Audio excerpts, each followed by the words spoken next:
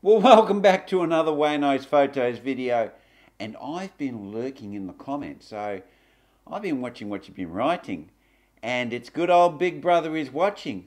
Well, anyway, I found some little comments about through axles and how people think that uh, disc brakes and through axles are making their frames and their wheels and the combination a little bit stiffer.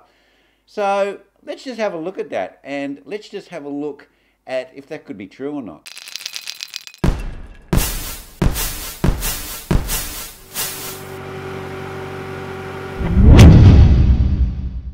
Well, through axles are technology that's come with disc brake bikes.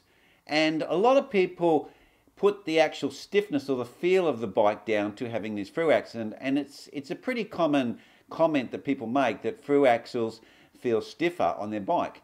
Now, the thing we need to consider here is, is the combination of flex coming from the ground to your handlebars. There's quite a few components in that uh, configuration. So you have your handlebars, you have the actual headset and you actually have the two members the top tube and the bottom tube which are could allow movement around your headset. And then you actually have the fork then you have the through axle or the quick release axle on a rim bike and then you actually have the wheel. Now the wheel also is spoke differently on a disc brake bike. You have your cross spoking and you have more spokes but on a rim bike you have radial spoking and you have less spokes. So you need to consider all of these components when you're talking about does it feel stiffer or not? Because Whatever's the weakest link or the flexiest part will flex the most first, and the things that have the stiffer, more stiffer parts will flex last. Now, you know, this, this takes a lot of logic. So what we really want to look at is what components from the actual ground up through the wheel and the fork and the headset to the handlebars to your hands actually are going to flex the most first. Well, I think people really know the difference in design between a quick release axle and a through axle. One has a cam design that applies force and pressure to clamp the axle between the forks, and the other one uses a screw fed to actually screw through both sides and actually keep the axle in place. So they're the two designs.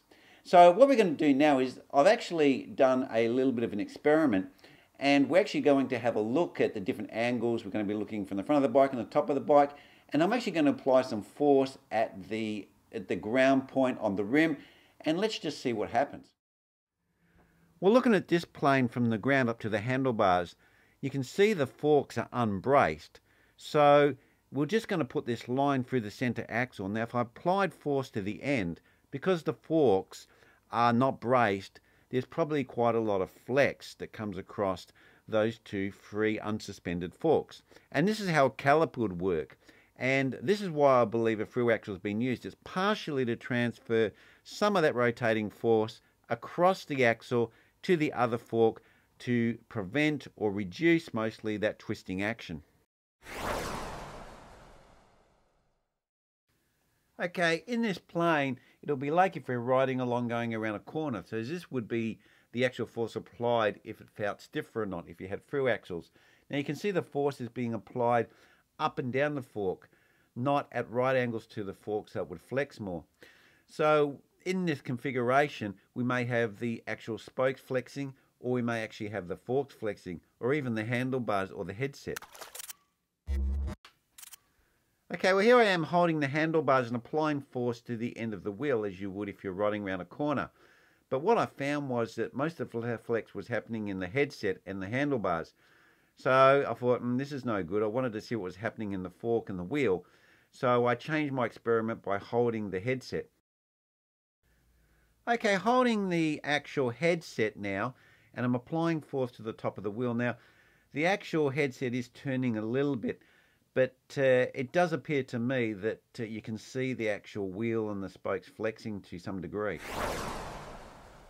Well, in conclusion, you can see that I actually performed two tests applying the force. The first test I did just holding the handlebars.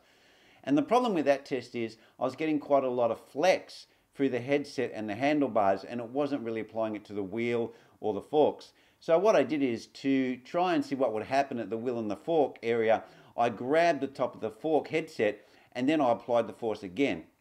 Now, with the first test, you can actually see that most of the flexing is done in the headset and the handlebars. But in the second test, when I eliminated, eliminated those components, the actual most of the flex was actually in the wheel with the spokes. And this makes a lot of sense because wheels are actually designed to have flex in them. And this is so the wheel, when you actually lean the bike over, actually maintains the tire in contact with the ground. It's, it's like a, a, a very crude and small form of suspension. Now, this is what I expected and why I don't really believe that the through axle is actually making the bike stiffer. The reason that I would put it down to is that you have a wheel that's built in a stronger way because it's built to transfer the loading from the disc, from the center hub, to the actual outer rim so that you have more spoking and you have cross spoking. And the other factor is, is that the forks would probably be made more rigid as well because it has to cope with the braking force of the caliper and the disc at the end of the fork. So even though we may put it down to the through axle, making the front end or the bike feel stiffer, I actually think it's got to do with the different wheel design and the different forks that they're doing to make the disc brake bikes.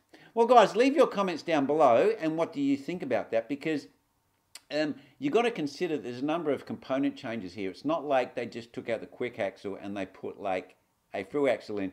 We have a different type of spoking, different type of wheel, and we have different type of fork construction as well. So anyway, that's where I'm going to leave it. That's my view on the topic. So get your comments down below and tell me what you think of what your experiences are. And we can have a bit of a chin wag in the comment section. That's where I'm going to leave it.